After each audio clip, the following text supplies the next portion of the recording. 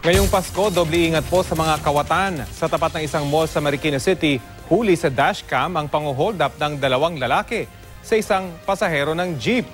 Sa kuha ni Yus Cooper Aaron Kadaing, makikita ang pagsakay ng dalawang lalaki sa kasunod niyang jeep. Pero di sila tuluyang pumasok sa loob ng jeep at dito na niya napansing may inaagaw ang dalawa sa isang pasahero. Ilang sandali pa, dali-daling bumaba ang dalawang kawatan. Sinubukan pa ng ating Yus Cooper na pigilan ng dalawang suspect. Maya-maya pa'y bumaba ang pasaherong nabiktima ng dalawa at nagsisigaw. Hindi pa malinaw kung inaaresto na ang dalawang hold-upper.